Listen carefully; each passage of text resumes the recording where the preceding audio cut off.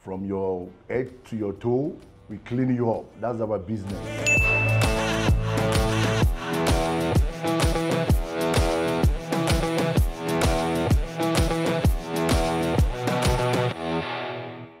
This is Victor Fakorede. I am a director of Bebe Saco Organic Skincare. It's a well-known name. We have been around for some time.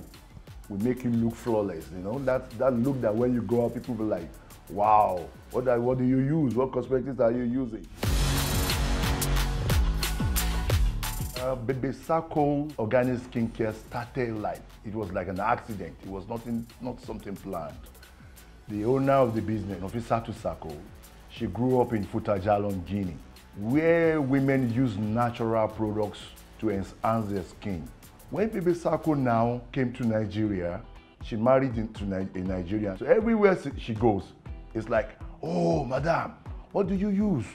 All she do is, oh, when she sees somebody coming from Guinea, Mali, like, okay, send me some roots, and she mix it together in her, in her bedroom. And she's using all these things, and she's getting all these compliments. So that's when the idea started coming like, wow, this thing is working. Why not let's start something with it? There was a lot of challenges at the beginning. Like a lot of people are used to those fast acting chemicals they put on their skin. They are so used to those things that they will give instant and right away result, but later give you problems later on. But this product is not like that. This is more just something natural. So people start talking about the products, recommendations, and all that. Now, distribution. How do you tell somebody you have never met before who lives in Oka or Zamfara or Maiduguri to send them your money? They don't know you.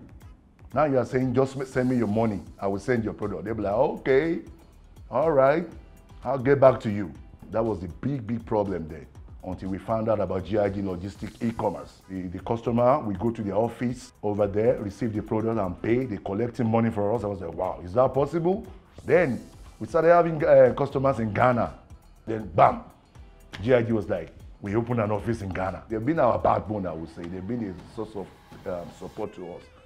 So they, they've been very, very good. Our product is selling itself. Now that has been our number one advantage. And the owner of the business, Nofisatu Sako, she know what she wants. She give all to it. And we, the staff, the directors, you know, we are all well-educated, experienced people. We formed this team. Like, this is a good thing. Let's do this together. And we have a common goal. That's what has been really keeping us going. My word of advice to anybody trying to go into any business uh, uh, freshly is uh, know what you want to do. Look for that thing that you can you can deliver. Stay on it. Be honest. You have the right attitude. That that's very important too. A lot of people don't have the right attitude. That kills business. Once you have that, you are good to go. The money will come.